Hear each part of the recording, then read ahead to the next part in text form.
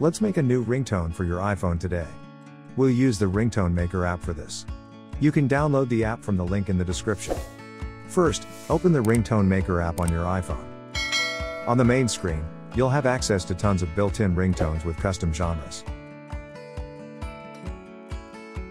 You can either access the collection to choose a favorite ringtone, or you can use the Ringtone Maker tool to create a custom ringtone for your iPhone. Open your music library by touching the Ringtone Maker button at the top. From there, select the music you wish to turn into a ringtone. An inbuilt trimmer will appear. Trim and keep the portion you want as your new ringtone. Then click on Save. Under My Tones section, touch to open the settings of your ringtone. Then tap on Install Ringtone. From the available options, choose to install via GarageBand. Select GarageBand on the next screen, and it will redirect you to the app. Note that, you should have GarageBand installed on your iPhone for this to work. Tap on the audio file and select Share. Finally, select the ringtone option and tap Export to create your custom ringtone.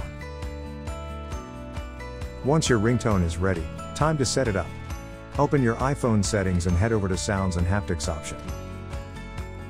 Then tap on Ringtone and select your new tune from the list. That's it.